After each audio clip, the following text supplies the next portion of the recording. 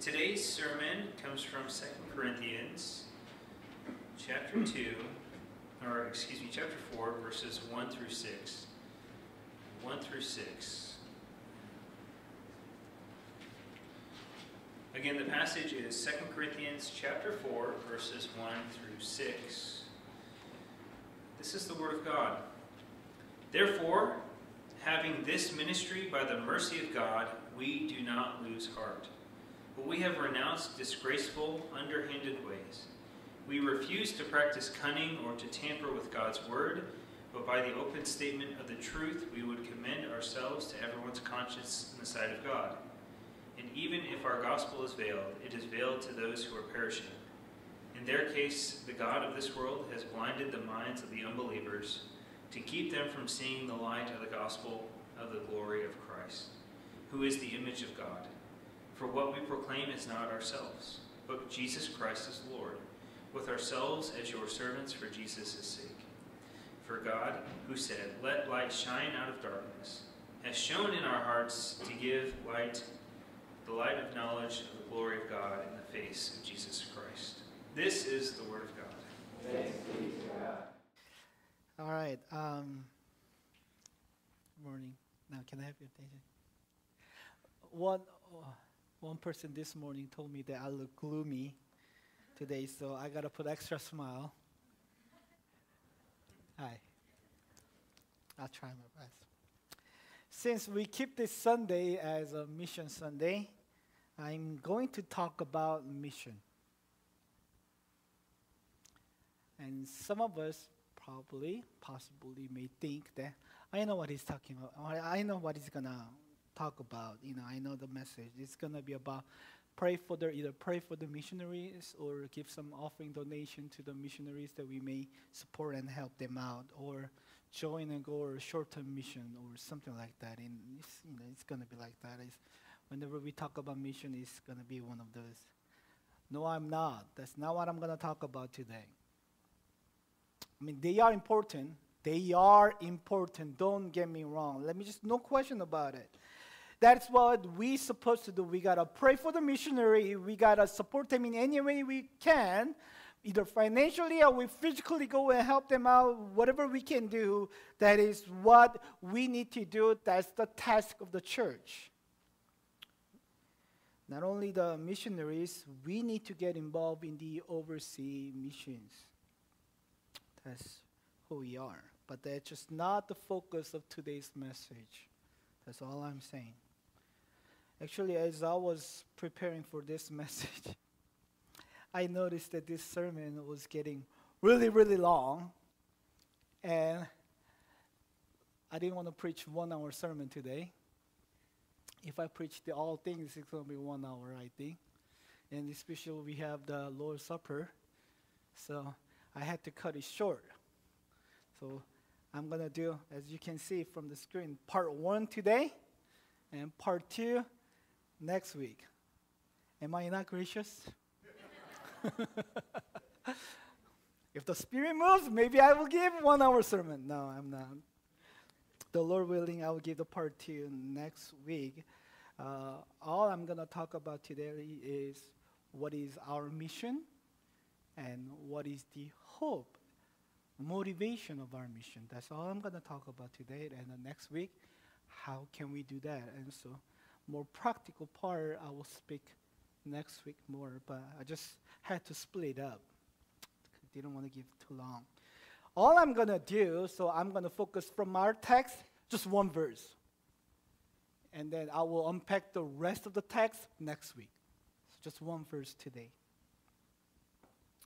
When we hear the word mission, we tend to limit that it is for the missionaries. Those who are called to missions. That's you know that's their mission. All we need to do is that we are just helping out their mission. It is their mission, and we just help their mission. What about you then? Don't you have mission? I want you to think about it. All Christians are called to Jesus Himself, called to Him, and at the same time sent out into this world by Jesus. You all have mission, and I'm asking you, what is your mission? Not the mission of missionaries, what is your mission? What is your life about? Just getting some degree and get a job and hopefully make six figures? That's not your mission or make a lot of money and give offering to the church, maybe we can build a nice church building. That is not your mission. I hope your life is not just about eating well and filling your stomach and live on. And is, is that the purpose of your Christian life? What are you doing? What is your task? Like, whatever I do, I gotta do it for this. That's my calling. That is my mission. It's your mission, my mission, hope of glory, our mission. This is the mission that God has given to me. What is it? Did you forget about your mission? How terrible is it? Like, for example, like CIA, the agent is like, I forgot about my mission. I don't know what it is. So many Christians live their lives in a way that I don't know what my mission is. I mean, I'm helping out their missions, but what is my mission?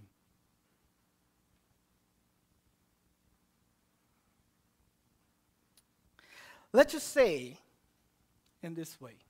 Let's say your younger brother or your son one day came to you and saying something like, you know what, not that I will ever gonna do it, but I don't know if, you know, drug is that bad. You know, now some of it is, you know, even not even illegal. It's like, I don't know if it's really bad, you know, Christian we shouldn't do. it. I don't know. Um, I will never gonna do it. But I don't know about that. What would you say? If your son says that. Or, let's say your younger sister, a teenager, or your daughter, when they become teenager, let's just say, she one day come and say, no, I don't know about having sex with boyfriend is that bad before getting married. Like, if they really love each other, if they really love each other, you know, and not that I'm ever gonna do it, like, I'll never do that. But I don't know if it is that bad. What would you say? Now, you know what that means. When they say that, uh, even though they say, I'll never do that, and when, when they say that, if the opportunity comes, they will do it.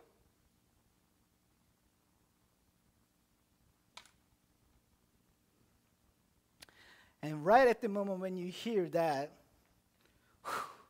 that just makes your heart nervous and worried about it, and you make them to sit down and sit down. Come here, sit down. And you start to give a lecture. How, why it is bad, wrong, and sin. And right at the moment, I think most likely whatever you say, it's just the things are flying over their heads. This is not coming into their mind because they don't have a conviction. You need to understand this why they don't listen to you when you make them to sit down and start to give them a lecture because there's a bigger cultural narrative that's going on that they are living in. You need to understand in what cultural narrative they are living in. Through media, from friends, movie, TV, songs, and etc., there are messages they listen to, they hear and they buy them. They listen to the stories of this culture. You know what? Many people say this. You know what? Smart person on the TV say that if it is on the TV and if it is on the media, it gives some credentials. Like it must be right, right? And it's not just a couple people. So many people thinking this way. And to them, that justifies it. It's. Many people say that. That's a smart person. He's a doctor. He's a counselor. One day, my son was watching Nick Jr. on the TV. It is a children channel. So Nick Jr. It's like preschool and little kid watching that TV. I was walking through my living room and I saw one commercial on the Nick Jr. little kid TV channel. It was by Disney. And all kinds of different kinds of kids coming and i'm proud of myself. Be proud of yourself. Like it's all about you are special. You be proud of yourself. And in the background there's a rainbow flags. And you know what that means. And this is who you are. And you can be whatever you want and it's fine. It's like you are the princess. You are the prince. Be proud of what you can do. That, that was on the tv and children are watching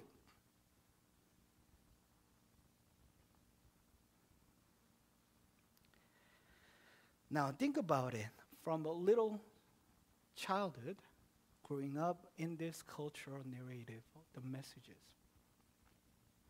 Humility is not the desirable virtue. You got to have pride. You can be all you want. And some degree, uh, the parents teach that too to children. Whatever you feel, you got to do them.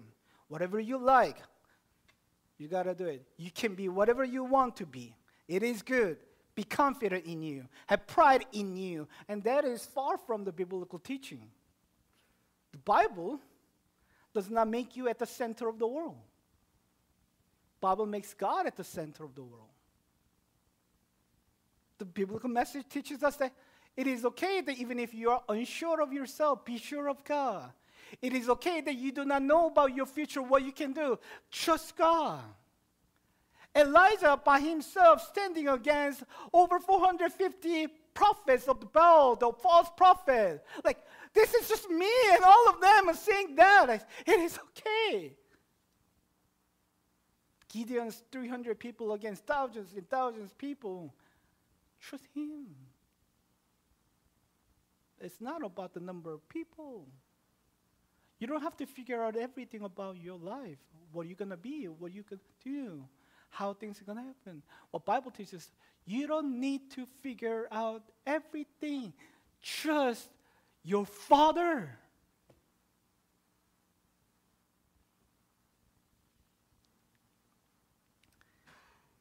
Find your identity in Him. Find your hope in Him. It's so different. The mission that our Lord Jesus gave to you and me, to us, living here in America, here in this Southern California, in Orange County, in this generation. We see the mission in Matthew chapter 28, famous chapter, famous verses. Go make what? Disciples. Did you forget your mission? Make disciples and baptize them in the name of the Father and the Son and the Holy Spirit and teach them. Teach your children, teach your people, teach each other, teach them to observe all that I have commanded you.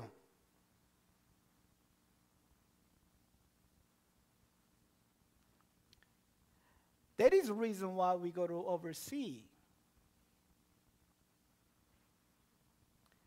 But that is also true here in America, in Southern California, in this culture that we live in. Making disciples of our children, our friends, neighbors, co-workers, people around us, including the person next to you right now, the fellow believers. When one is having suffering time and shaking their faith, Trust in the Lord. One is trying to go off the track of the Christian life. You got to repent and turn back. Point each other to Christ. Continue to walk in faith and obedience. That's the discipleship. That's your mission. That's your mission. Whatever job you work at, in your home, your family, your husband, your wife, your children. And here, wherever you are, teach them to observe, make them disciples of Christ.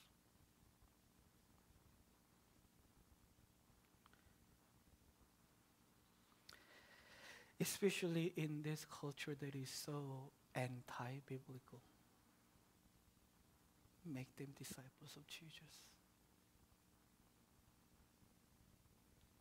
Now, some of you may think, man, Billy, raising our children to be godly Christians in this culture is so hard.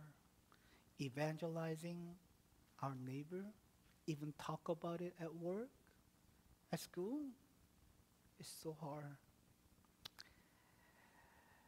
Helping my friends, even believing friends who are suffering, helping them to continue to walk in faith in crisis.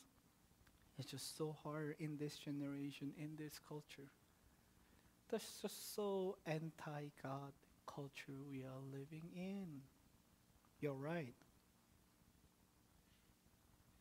It is hard. It is hard. I'm trying to smile because I'm wearing black today. It is hard. The whole orientation of life, the worldview, the life priority, self identity, values of life, the ultimate reference point of what is right and what is wrong, there has to be a shift from man centered, people centered to God centered. That's got to take place first. In other words, but I think but people say from that to, this is what the Lord says. That shift in their heart, in the children's heart, and the people. But I think, but I, I, from man center to, but he said, but he said, if there's got to be a shift in them, not just you talking. This got to be done within their hearts.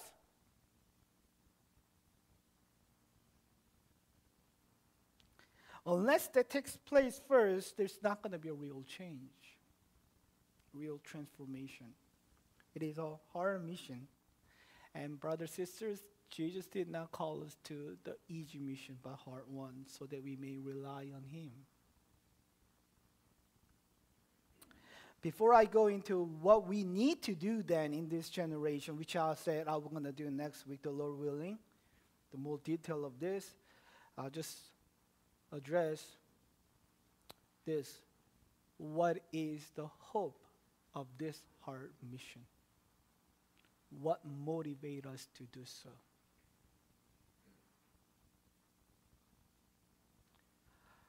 Oh, can I raise my children to be godly man and woman of God? It's going to be hard. What is your hope in doing so?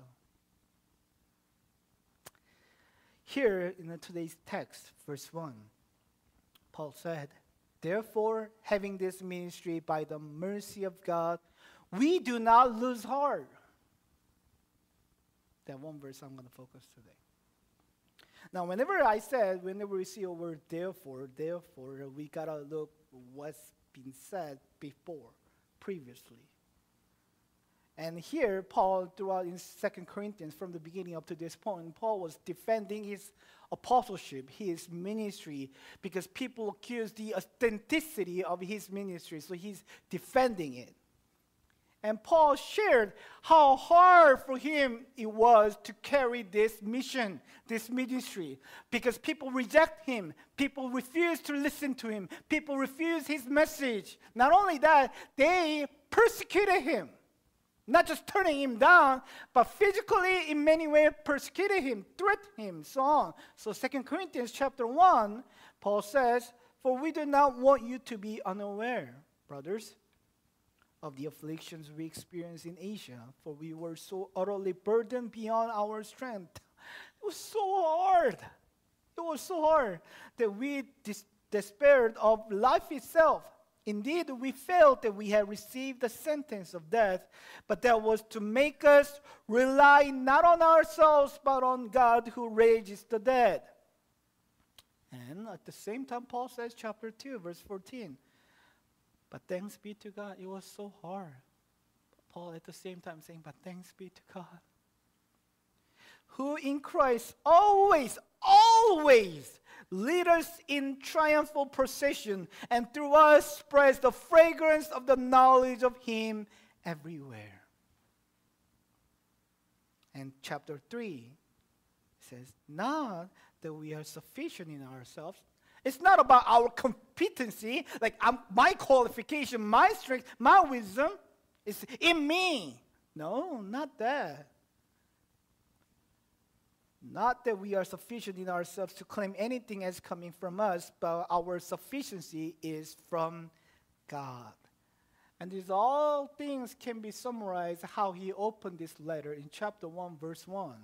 It says this Paul, an apostle of Christ Jesus, by the will of God.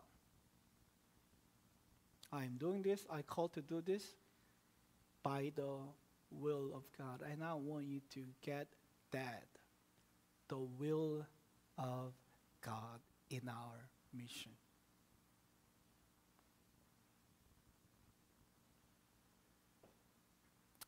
You need to understand and see your mission in that God centeredness, that is His will. Your mission of making disciples begins with God, carried by God, and will be accomplished by God. Will of God. You must see His will above everything. Let me go back. Church, are you with me? Now think with me. Let's go back to the very beginning of the bigger narrative than our cultural narrative. The story, to Genesis. Adam and Eve, after they have sinned against the Creator, the creature disobeyed their Creator. God could have just wiped away the entire human race, Adam and Eve, right at the moment and bring the final judgment on that day. Instead, it was God who gave the promise of redemption that the offspring of the woman will crush the serpent's head, the head of the devil. I give you the redemption. It was God who initiated that. And after that, we see the story of the Bible. The sins of idolatry and all kinds of evil fill the earth. And once again, God could have wiped away the entire human race with flood. But He spared some, the Noah's family. It was God. And again, He assured the promise to Noah. You see? And he chose a new humanity. He started with Abraham. Now, Abraham was not a special person, though we call him a father of faith and friend of God. God did not give pick Abraham because of his righteousness, because he was perfect. Look at the story of Abraham. Abraham lied about his own wife multiple times for his own security to a foreign man. Like, you can have her, she's not my wife. Now, like, if you watch modern day movie, like romantic movie, man who loves the woman so much, like, I'm willing to die for you, it's totally opposite of that. That's Abraham. What about Patriarch? His children. Isaac was a little wimpy kid. And Jacob cheated his father, lied to his father so that he can have more blessing and money, ran away from his own brother. What about the Jacob's children? The 12 tribes, the patriarch of the 12 tribes. One going around and messing with other people, try to kill. One sleeping with the father's concubine. And 10 of them standing together, debating with each other whether they should kill one of their brother or sell him as a slave. That's the patriarch of a 12 tribe of Israel. Yet God still kept his promise, still spared them, and keep going made them into a nation and gave them a law how to live as God's people. And God, it was God who gave them the system of sacrifice and the priest, the way they can be forgiven. Now, what about leaders of Israel then? You read the book of Judges. If you read the book of Judges, the judges of Israel, the leaders of Israel, it's hard to even distinguish if they are good guys or bad guys. The good guys sounds like bad guys, the bad guys is like it's still all the same. These good guys, they're supposed to be the leaders of Israel. They do all kinds of unlawful things and the evil thing too. And one guy even killed his own daughter. What's going on here? And at the end of the book of Judges, it ends with this way like, each one has done, acted in a way, whatever seems right in their own eyes. Whatever seems right in their own eyes, they just did it. So now they ask for a king. We are reading book of Samuel, First Samuel. What about Saul, the first king? He disobeyed God because he wants to have some money or wealth for his pocket himself from the good, the plunder of the world. Like, like, he lied to God. It's like, oh, mm. oh, what about David, the man after God's own heart? He committed adultery and murder. And we wonder what would happen if he was not a man after God's own heart. His son Solomon, the most wise one, went after the idols and idols and idols to the point that the kingdom, the Israel, has to be divided into two the northern kingdom and southern kingdom. And the ten tribes in the northern kingdom and the kings, they continue to walk in sin and idolatry, in evil, fill the land to the point that God made them to go in exile. And southern kingdom after northern kingdom got destroyed, they still did not repent and continued in the same way, got destroyed. And after about 70 years, they came back to their own land. Now we come to the story of Jesus.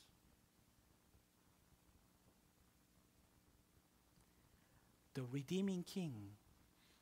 The promise of God is finally here. And people rejected him.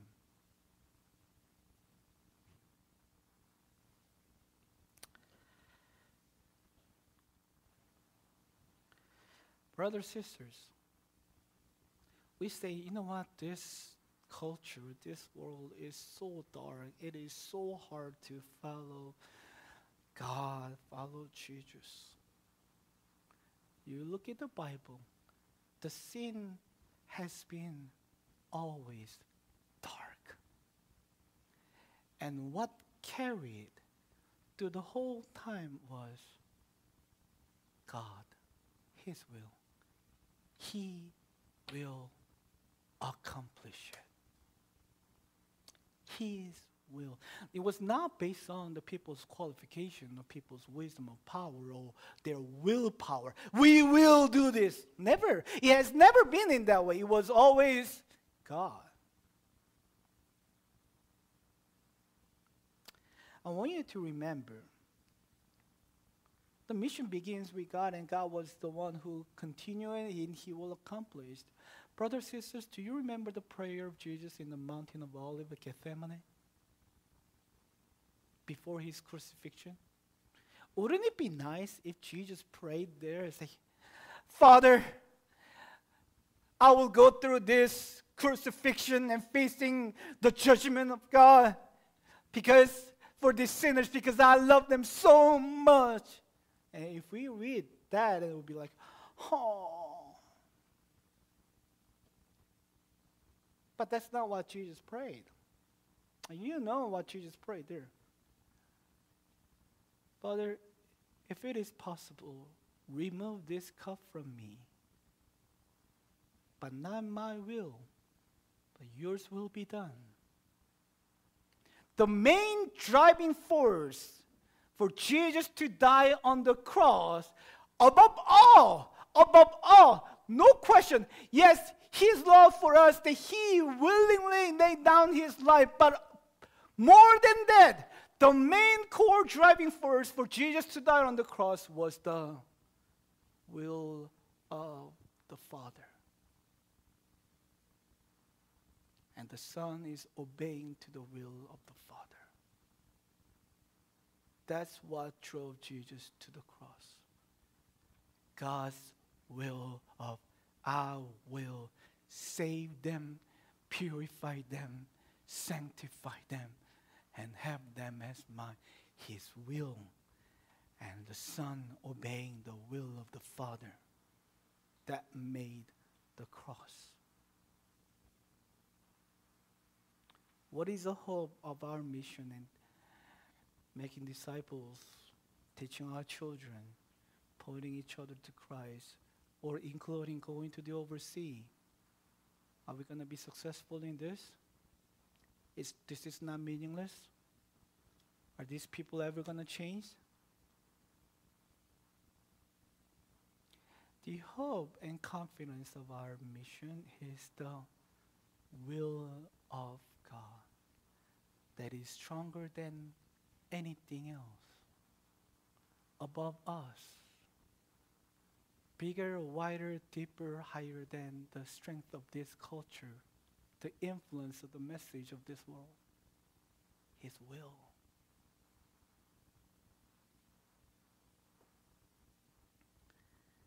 That's the picture we see in the Bible. Even though this culture we live in is so anti God, anti Christ, His people will take delight in God because God will do it. Now, having that in mind, my brothers and sisters, let's read the verse one once again. Would you? Therefore, having this ministry by the mercy of God. Not that we need Him, not that we are doing it for Him. We are doing by the mercy of God, and we can do this by the mercy of God. And Paul says, so we do not lose heart.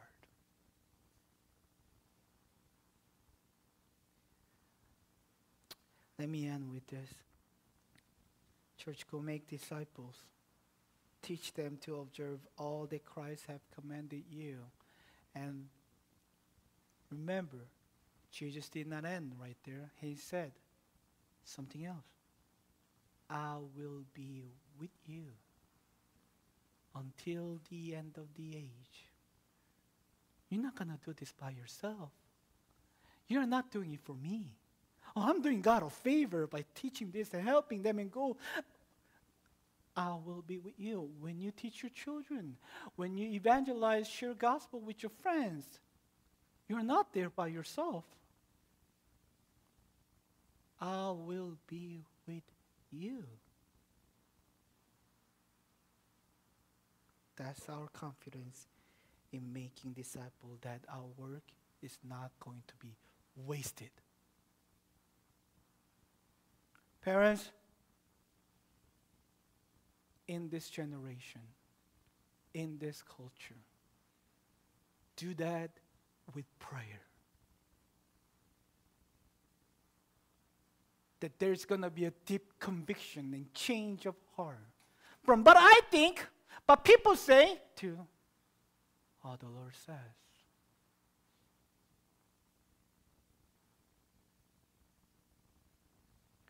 And we'll be able to say one day, as Paul said earlier, thanks be to God who give us triumph procession. And through us spread the fragrance of knowledge of God everywhere. And more detail, I will share next week, Lord willing. I'm going to end like a Korean drama. You got to wait, anxiously wait for the next week. Let's pray.